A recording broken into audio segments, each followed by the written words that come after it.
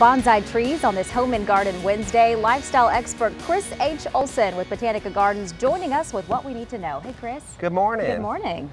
Well, you know, bonsais, a lot of people are fascinated with bonsais because they're just, you even said they're kind of cool Oh, and yeah. fun looking. And of course, with Father's Day coming up in June, it's a perfect gift for a guy, especially if they like plants because it's we consider them a little bit more masculine. It's one of those things that are a stress reliever, especially if they have them on their desk because, Okay. you know, they can trim it as they want. You remember the Karate Kid? Of Did you ever watch that? He course. said, just envision it in your mind the way you want it. And that's the way it is with bonsais. Envision the way you want it. You want to keep them spaced and thinned out so you can see the main stem, which makes them look a little bit more aged, which also allows air circulation. And, and there's so many different types of bonsais out there. The most common, of course, are the junipers, you know, but now there's the ficuses, which are very low maintenance. There's all different types of uh, uh, ornamental type of trees and things like that that are very contorted.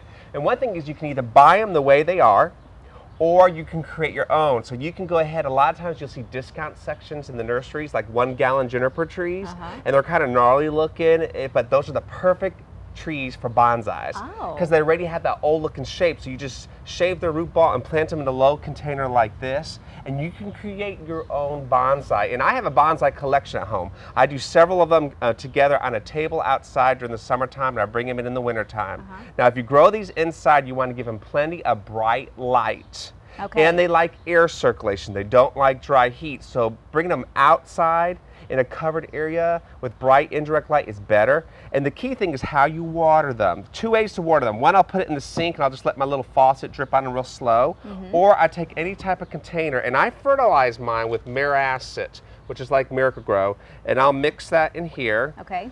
Ooh, I love the color of That it. is cool. Isn't that cool? And then I'll just go ahead and pour that in a type of saucer. See the blue? Yep, So they're see it. getting fertilizer. You want to fertilize them at least once a month. Remember, they're in one little boat or in one little pot. And you just put it in here and let it absorb the moisture up.